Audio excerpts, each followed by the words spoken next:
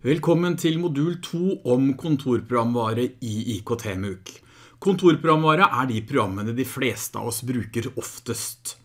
Og det er sånn som tekstbehandling, og det kan være regneark, eh, eller det kan være presentasjonsprogram som vi ikke skal ha i den modulen. Den kommer vi tilbake til i modul 3 med. I tillegg så skal vi ha om samskriving. La oss titte på oppgavene en etter en.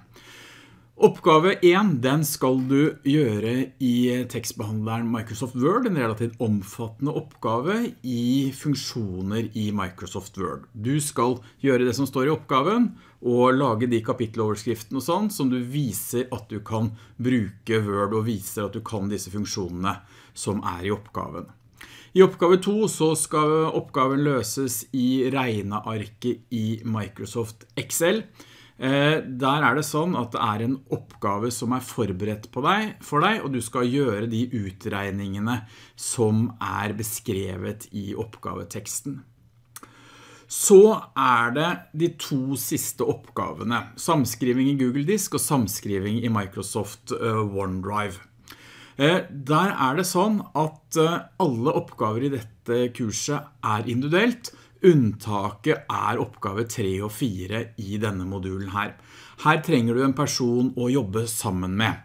Finn deg gjerne en medstudent. Eventuelt så finner du samboeren eller barna dine eller en eller annen hvem som helst annen person som du skal samskrive med.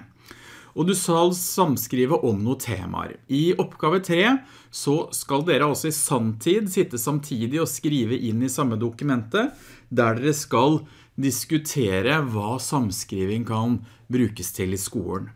I oppgave 4, der skal dere samskrive i nettversjonen av Microsoft Word, og det dere skal diskutere der er forskjeller og likheter mellom samskriving i Google Disk, altså Google Dokumenter, og i Word.